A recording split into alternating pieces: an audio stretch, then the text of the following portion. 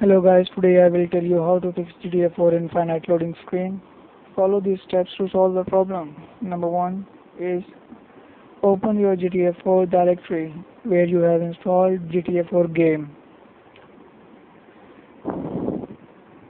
Now I am going to open the directory where I have installed the game.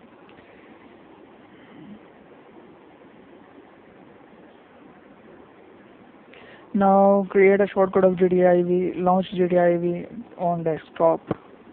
I have already created it and now right click on it. Right click on the shortcut and click on properties and now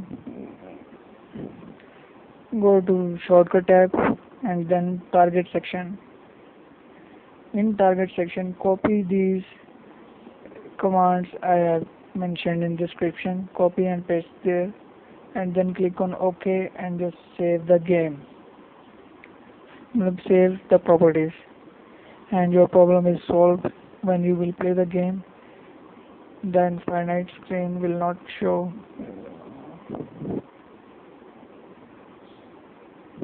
And do not forget to like comment and subscribe and